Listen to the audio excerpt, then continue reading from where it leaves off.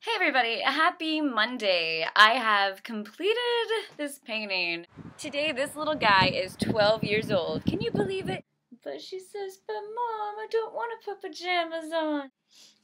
Everything awesome is hard work. It's hard work.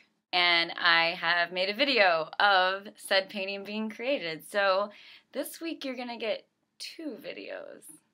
oh, yes, and whenever possible, paint with a tiny dog on a couch behind you. He's like, Mom, why don't I have a Facebook page? Why does Piccolo have one, but I don't? He's really not into social media. Too much empathy. Think about air, think about oxygen.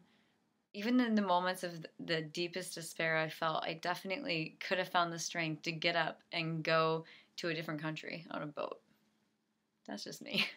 so, whoever you are and wherever you find yourself in this moment, if it be darkness, know that there is the infinite possibility of so much light that you can't live without Ray-Bans. Until next week, I hope that you're all swaying in the breeze and holding an adorable terrier. this week, be happy, be grand, be courteous, be loving, be everything that you can be to make the world a better place. Because if you're not doing that, what are you doing? Piccolo Valentine, what are you doing this week? Trying to make mommy feel safe enough to leave me and go out of the country for seven days with a dog sitter. I love you guys. I mean it.